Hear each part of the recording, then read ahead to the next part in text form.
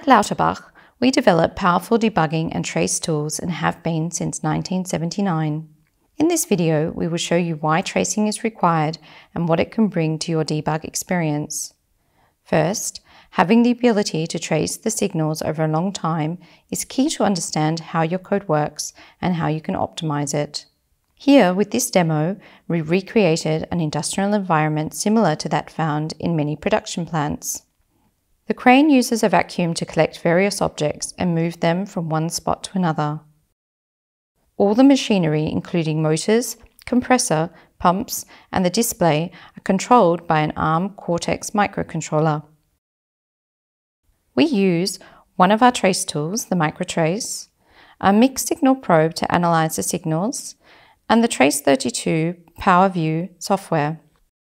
In this system, there are many possibilities of malfunction, and some of them can be analysed only in real time. For example, if the pump pressure is unstable, the marble could fall sporadically. If we set a breakpoint, we will stop the system and without the vacuum, the marble will fall.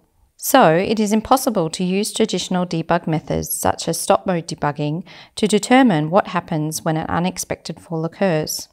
That's why we need to let the system run and capture the data on the fly. That's real-time tracing, a non-intrusive debugging method. The more data I collect, the better able I will be to solve the problem. At Lauterbach, we propose a complete set of analysis functions. With the Trace32 PowerView software, you can visualize the data in real time and debug several tasks and even several cores in parallel. Now let's have a closer look at the program flow trace, the instrumentation trace, the code coverage, and the protocol analysis. First, with the program flow trace, we can monitor all executed instructions in the microprocessor.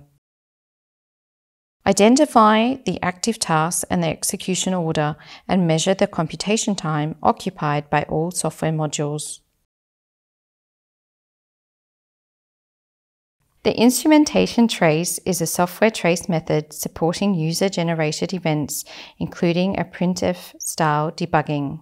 It can generate high-level language outputs during the program flow to understand it better. Here we see the output messages describing the current task taking place during the execution of the marble track. The code coverage is key to demonstrate adherence to security and safety standards. It identifies the pieces of code which have or have not been executed, marked here with the yellow lines.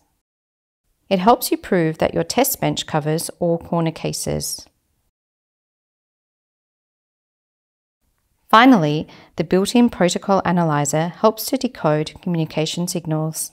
For example here, we use the mixed signal probe to sample the hardware signals of the I2C bus between the display and the microcontroller.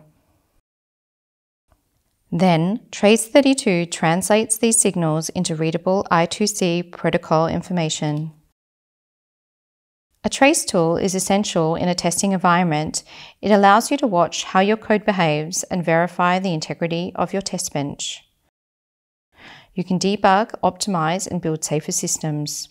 Industrial production, engine control unit, automotive safety, smart home, robotics, Mobile communications, the scope is large and diverse. For any further information, please visit our website. Thank you for watching.